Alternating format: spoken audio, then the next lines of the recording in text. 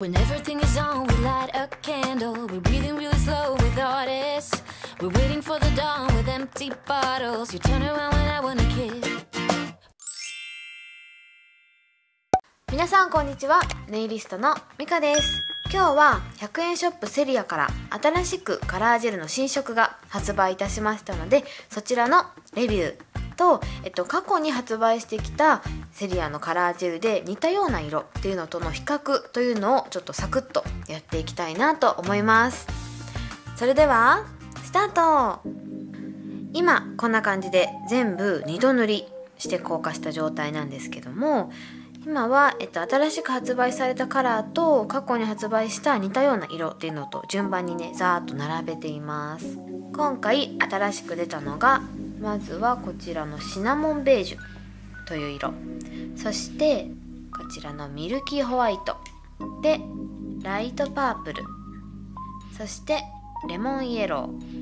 ー。で最後がスカイブルーになります。多分この5色だけだと思うんですけどもしかしたら私がまだゲットできてないカラーがあるのかもしれないですけど一応いただいた情報と調べた情報によるとこの5色。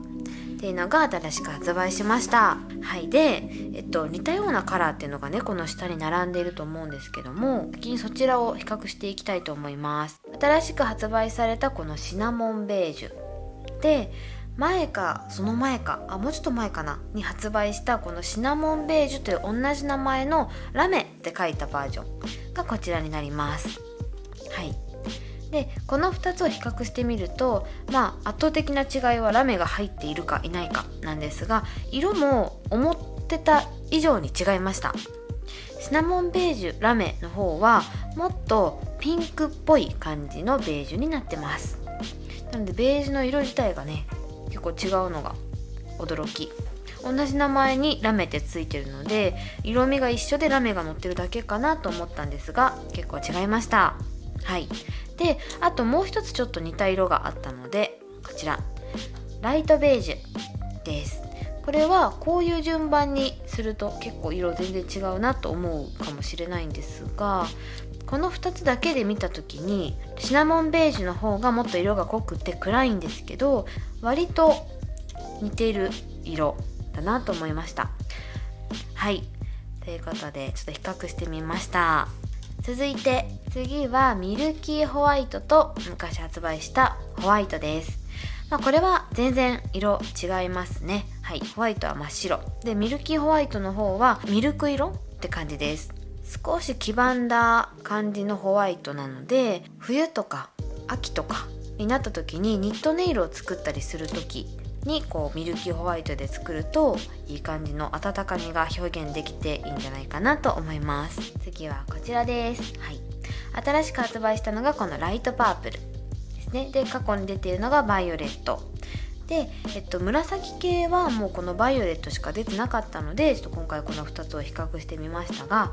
まあ全然ね色味は違います。でバイオレットの色に白を足したからといってライトパープルが作れるかっていうとちょっと難しそう。バイオレットの方が暗い色っていうのも別で混ざって作られてるって感じなのでこれに白を足してもこうどんどん色がくすんでいくだけでこんなに明るい綺麗なライトパープルは作れないと思います。イメージで言うとバイオレットはブドウ色でライトパープルはラベンダーみたいな感じです。続いてはこちら。新しく発売されたのがこのレモンイエロー。で前からある同じ黄色系だったらマスタードという色がありましたのでこちらを比較します。でマスタードもさっきの、えっと、バイオレットと同じような感じでこのマスタードにホワイトを混ぜたからといってレモンイエローにはならないです。イエロー系が今までマスタードしか出てなかったってこと意外でちょっとびっくりしたんですけど結構ねイエローあるといろいろ色を作ったりするのにも使えるので、まあ、レモンイエローは結構嬉しい新色だなと思います。で最後最後はこちらです。はい。新しく発売されたのがこのスカイブルーという色。結構青はこのデニムブルーだったりとかミルキーブルーとかあとミントとかもブルー系ですし普通のブルーとかネイビーとか。ブルー系は結構いろんな色が出てたんですがその中でも一番ちょっと似てるなと思ったのがデニムブルーだったのでこの2色で比較します。でこの2つもちろんあの色違うし濃さも違うんですけどなんかこのスカイブルーをちょっと影にしたらデニムブルーになるんじゃないかなっていうぐらいちょっと似てます。なのでスカイブルーにちょっとブラックを混ぜたりとかしていくとかなりデニムブルーに近い色が作れるんじゃないかなと思います。全部並べるとこんな感じですね。じゃじゃーん。でもスカイブルーは本当にザ水色っていう感じの色になってます。今まで意外とこのザ水色っていう色出てなかったのでミルキーブルーはちょっと白っぽいし普通のブルーねブルーって書かれてるやつもちょっとこうくすんだ感じのあの色味だったのでこのスカイブルーもかなりいろんな色を作ったりとかするのにもいいしこれから春夏にとても明るいネイルデザインを作るのにもすごくいいかなと思いました。では次にテクスチャーをちょっと見ていきます。テクスチャーなんですが最近よく出ていたこのラメシリーズのテクスチャーがかなりサラサラしていてもうサラサラを超えてシャバシャバみたいな感じになっててちょっと塗りにくいなっていう風になったので、まあ、これからそういうテクスチャーに変わっていくんだったらちょっと嫌だなみたいな風に思ってたんですけど、まあ、新しく発売した今回のマット系のカラーはそんなにシャバシャバしてなくて元々のカラーのテクスチャーと比べるともうちょっとサラッとはしてるけどラメ系みたいにシャバシャバではないのでまあいいかなと思います。こんな感じね。とろっとしてる。